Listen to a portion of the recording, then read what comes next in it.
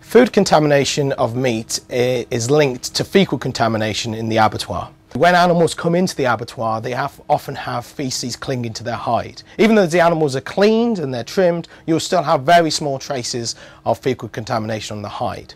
When the hide is removed, if feces is dry, then it often becomes an aerosol, which can fall back onto the hide, or as the hide is being removed, any surface which is touched by the hide, if it touches back onto the carcass, for example a hand or a knife, then you have transferable uh, fecal contamination.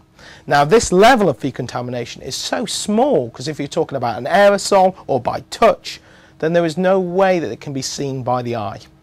Now usually this level of fecal contamination is fine and any normal cooking practice will remove any risk. However, the cha one chance in a million is you may have some level of E. coli or Listeria monocytogenes attached to that fecal contamination. So that is why it's important that we increase the intensity that we can identify that contamination and therefore remove it. This is an extract of natural chlorophyll, uh, which is a nice lime green colour. However, the chlorophyll degrades rapidly to this darker olive green um, which as a marker we cannot use. So therefore our aim was to produce a standard um, stable marker which is much darker and is a higher intensity than the chlorophyll.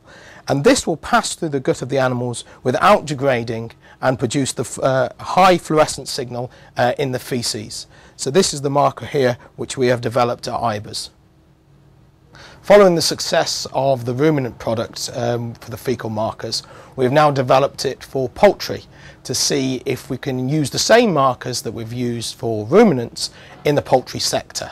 At the moment we're at the proof of principle uh, stage but if this is successful, then obviously this is very important due to the fact that the majority of foodborne illness are associated with poultry, such as chickens.